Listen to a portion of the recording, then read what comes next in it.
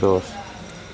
Buenos días, mi nombre es Sandra Ruiz, soy gestora de bienestar del Plan Intervenciones Colectivas de Zipacón, de la alcaldía liderada por la señora alcaldesa eh, Cristindira Ramos Nope.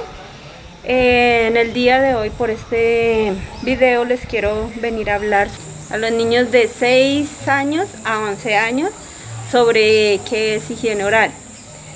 Entonces, eh, básicamente el correcto cepillado para los niños de 2 a 3 veces al día.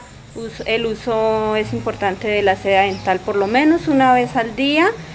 Eh, también evitar comer, tomar bebidas azucaradas en las tardes o en la noche para prevenir la caries, ya que las bacterias trabajan más en la noche. Es importante que las madres sepan el cuidado de, los dientes de sus hijos, llevándolos periódicamente al odontólogo, a higiene oral, eh, también que los lleven a control de crecimiento y desarrollo, ya que ahí el médico les dirá que anda mal en su hijito.